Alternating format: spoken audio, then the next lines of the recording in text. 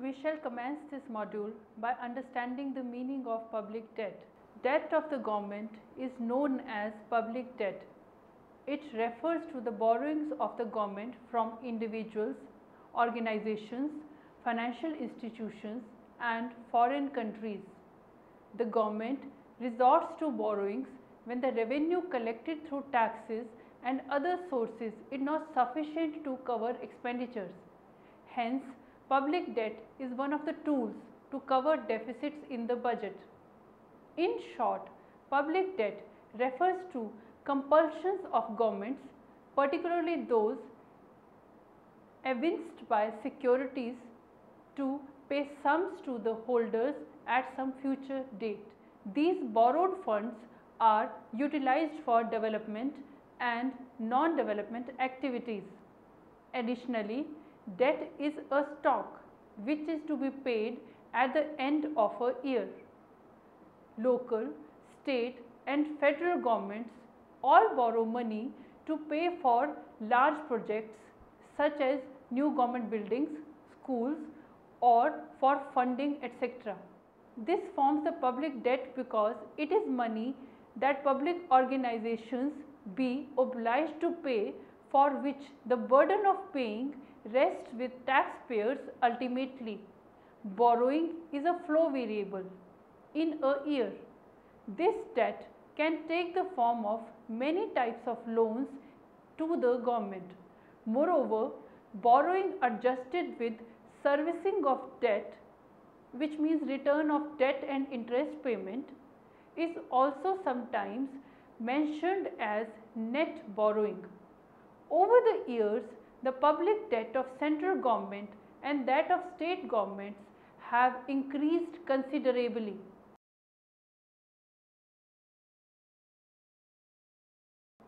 After studying this module, you shall be able to understand the meaning and classification of public debt, learn about the sources of public debt, analyze the trends of public debt, comprehend the burden that public debt creates and recognize the methods to reduce the burden of public debt.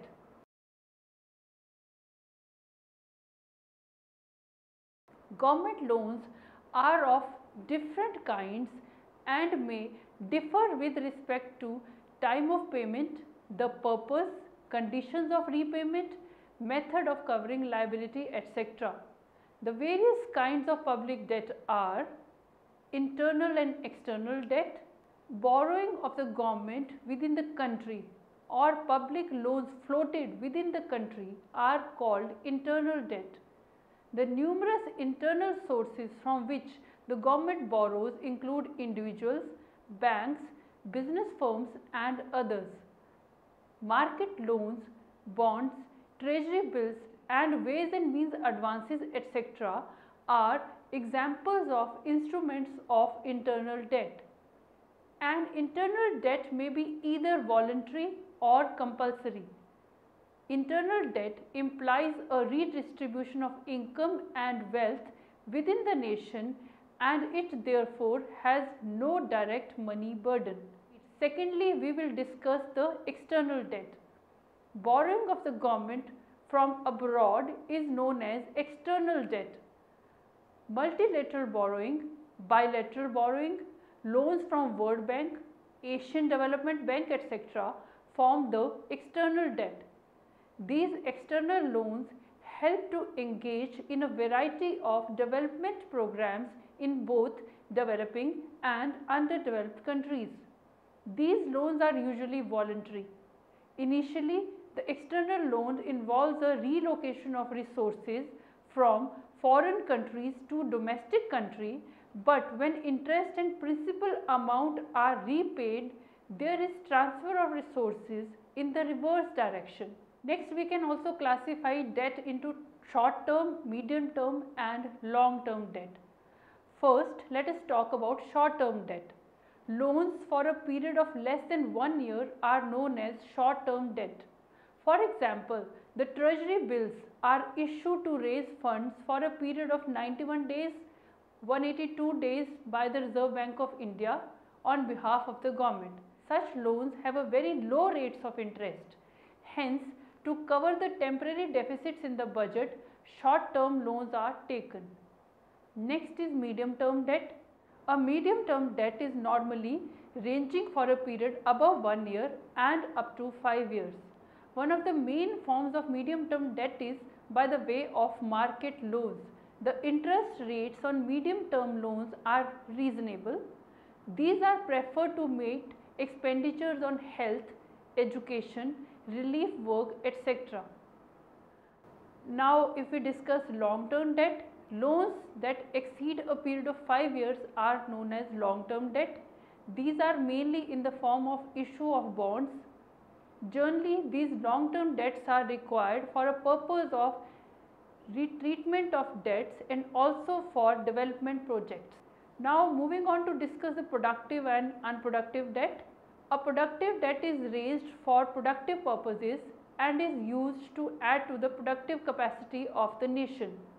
These debts are long term in nature and are utilized on development activities such as infrastructure development like roadways, railways, airports, seaports, telecommunication, power generation etc.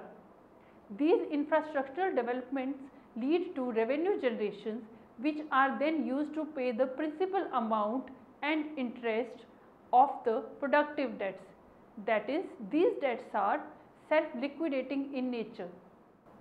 If we discuss the unproductive debt, an unproductive debt is one which does not yield any income and does not add to the productive assets of the country. Examples include the debts utilized for transfer payments in the form of subsidies such as old age pension, special incentives to weaker sections etc. Moreover, unproductive debts are a net burden on the economy and the government has to resort to additional taxation for its servicing and repayment. Further, let us now move on to discuss the compulsory and voluntary debt. First, compulsory debt. Normally, the government does not obtain loans through compulsory means and can obtain such loans from banks, financial institutions and large corporate firms at the time of war or a major disaster. That is, only when it is not possible to obtain voluntary debt. Examples include the compulsory deposit schemes in India. Next is voluntary debt. Generally, public loans such as market loans, bonds etc. are voluntary in nature and constitute voluntary debt. People invest in voluntary debts for liquidity and profitability. The rate of interest of voluntary debt is normally higher than that of compulsory debt. Next, we shall discuss the redeemable and irredeemable debt.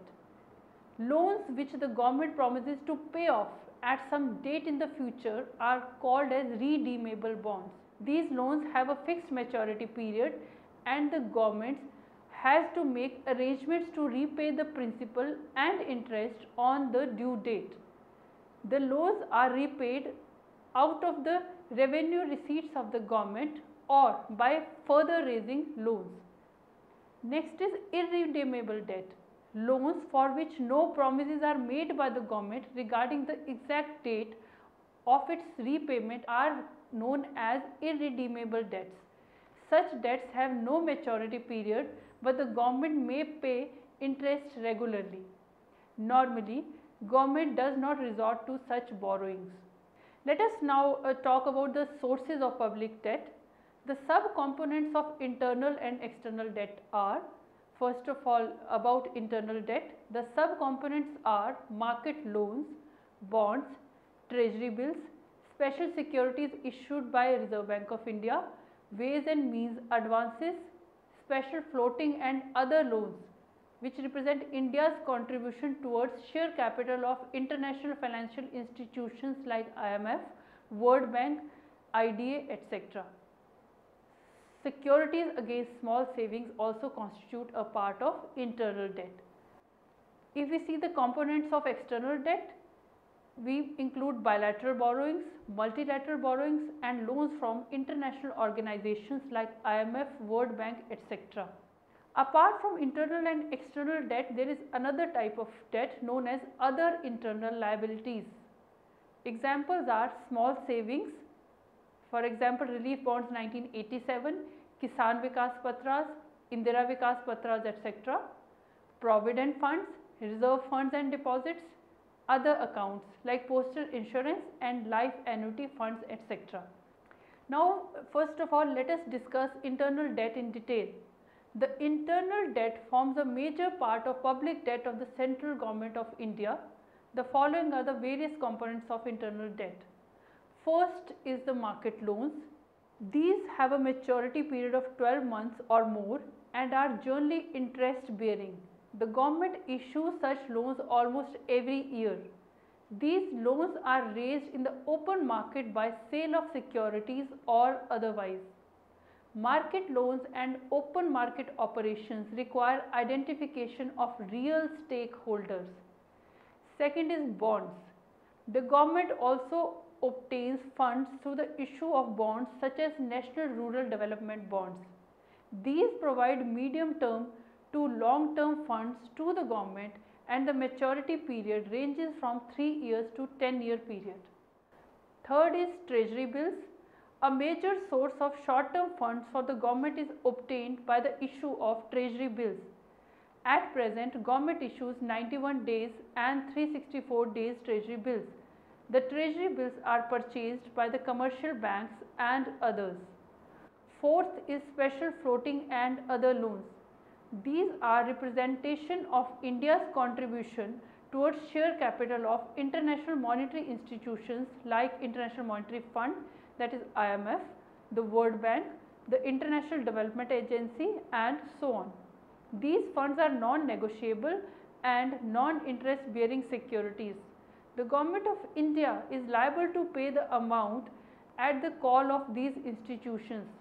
Accordingly, it is a short-term debt upon Government of India.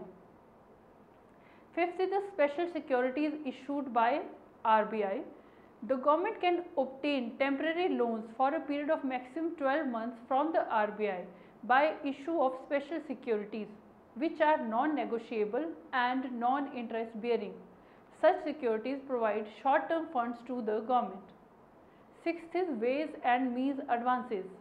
The government of India obtains ways and means advances from the RBI to meet its short-term expenditure. These debts are purely temporary in nature and are usually repaid within 3 months. Seventh is the securities against small savings. Since 1999-2000, under the new accounting system, the National Small Saving that is NSS have been converted into central government securities. Consequently, there has been a sharp increase in the internal debt and the corresponding decline in the small savings. Now let us discuss the concept of external debt. External debt refers to the liabilities of the Indian government, both central and state, public sector, private sector and the financial institutions to overseas parties. The government of India in the past has raised loans from USA, UK, France, USSR, Japan etc. The external debt comprises of firstly multilateral borrowings. A multilateral loan is a kind of loan that involves a number of lenders and a single borrower. The lenders are most financial institutions or banks. Multilateral loan is a common type of loan that is taken countrywide. Second is bilateral borrowings. A bilateral loan is a kind of loan that involves a single borrower and a lender. The lenders are usually banks or other financial institutions. And third of type of external loan is loans from IMF, World Bank etc. Next, let us look into the other internal liabilities. The government does not include these liabilities under public debt. However, the government is liable to make repayment of these liabilities. First are small savings.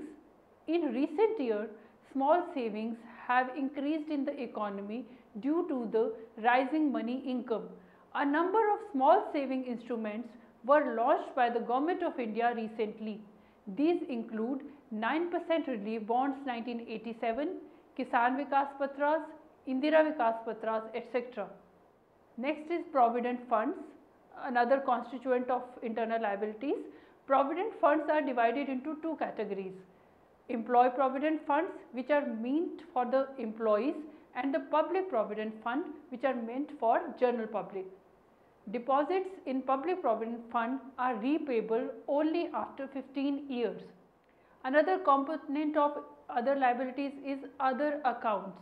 Other accounts include postal insurance and life annuity fund, income tax annuity deposit, borrowings against compulsory deposits, special deposits on non-government provident fund and outstanding amount.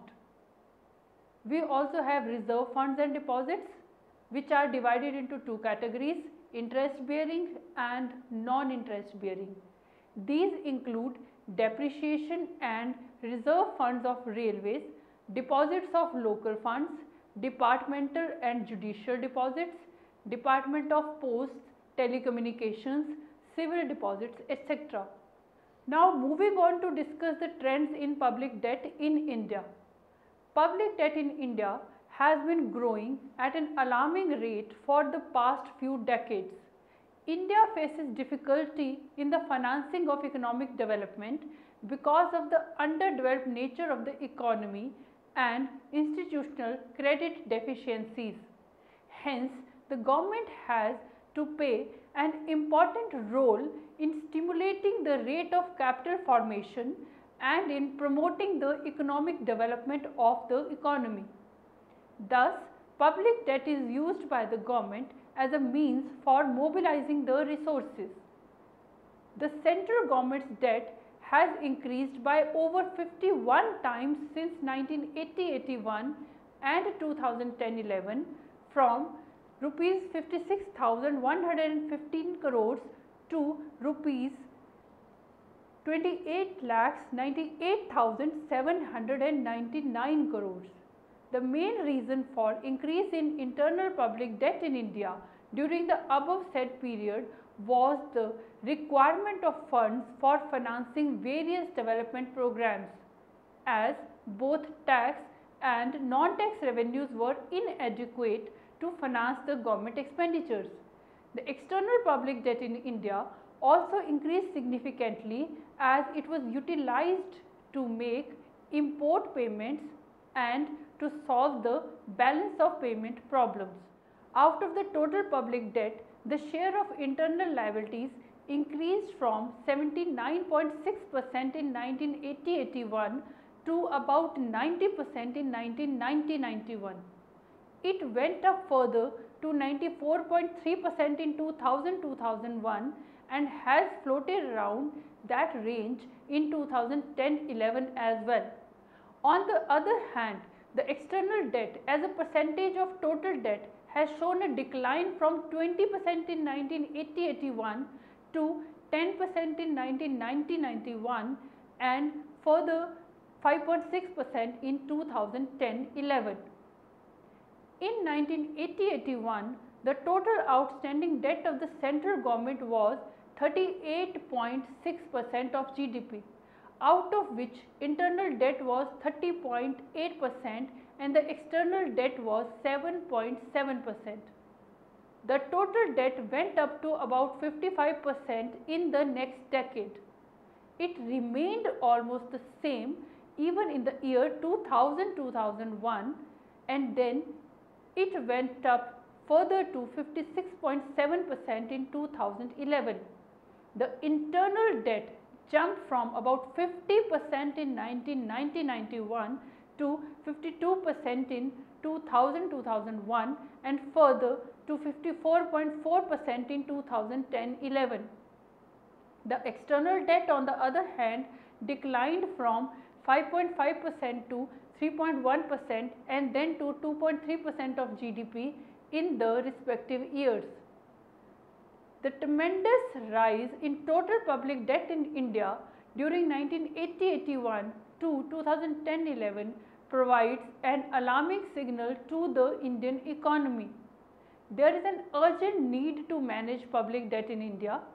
However, we cannot ignore the fact that public debt is essential for the functioning of the government and the economy. According to Global Development Finance Report 2009, India is ranked as the seventh largest debtor country of the world. However, government has now gradually reduced the borrowings and investment from foreign direct investment that is FDI and foreign portfolio investment that is FPI are used as substitute for the borrowings. Next, we will discuss the burden of public debt.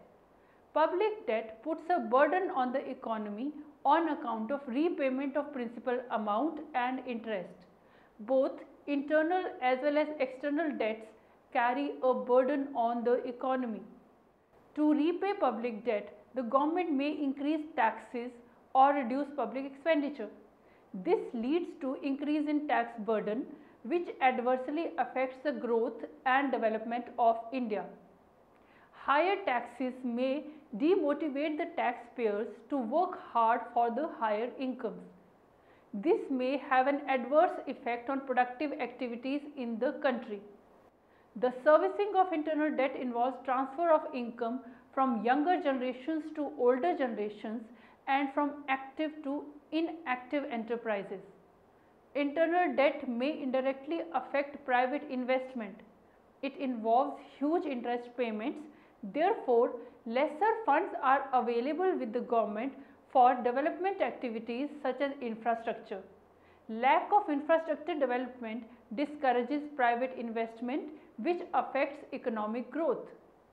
Higher interest burden also leads to availability of lower funds towards activities for social development such as health, education, family welfare etc.